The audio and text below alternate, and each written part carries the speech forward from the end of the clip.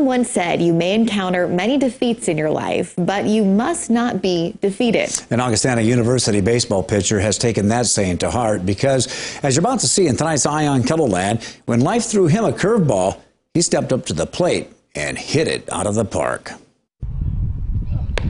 Yeah, he adds a perspective that you you don't you just don't know about. When 24-year-old Parker Hansen is on the mound for the Augustana Vikings baseball team, his slider is hitters don't have much of a chance against it. He looks like any other player, but he's different. I would say early when he first got here, it was you noticed you like you like didn't know how to react or how to handle it, and then now you don't even notice it. You don't notice that he's he's missing a hand. Parker was born with a birth defect that left him with only his right hand. I, I just loved baseball, I guess. That love for the game started at a very early age while growing up in Minnesota. While he says he's grown used to his disability, he admits at times it was emotionally difficult. I mean, it hurt me. Uh, that's just the honest truth. It hurt me deep down. Um, I would go home from school crying in third grade um, just because I knew that I wasn't going to baseball or basketball or baseball practice with the other guys in my class. That you know they're my best friends, so it was really tough for me on that, and I mean, it motivated me. Parker was determined. He didn't want to be like all the others. He wanted to be better. He worked hard in the weight room to get bigger and stronger.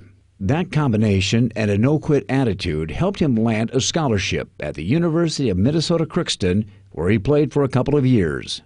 But Crookston didn't have a graduate program in sports administration and leadership that Parker was looking for. So he contacted Augustana, where Tim Huber decided to take a chance on him. Huber says he saw his ability, but he also saw his character. I guess when he reached out, I knew he was a good kid, good person, good student, and had some talent. I just didn't know where it was going to go. And I thought it was a pretty cool story. Like, I'm always, stuff like that is cool. You know, we bring in some international guys because they add a different dynamic. And obviously Parker adds a different dynamic. But he doesn't give Parker a pass. Huber treats him like any other player. If he's pitching poorly, he gets taken out. Parker says he had a role model to look up to while growing up.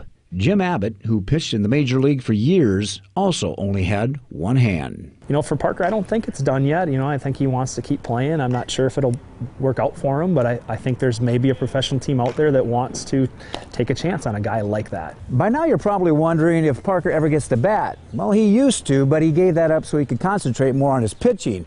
But he did tell me that he would like to step up to the plate one more time before he leaves Augustana. And if it doesn't go well, he's okay with that because he says he'll never strike out in the game of life.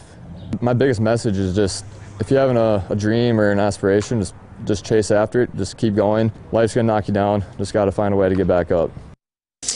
And Parker figures into the pitching rotation almost weekly, and so far has helped the Vikings to a 21 and 6 record.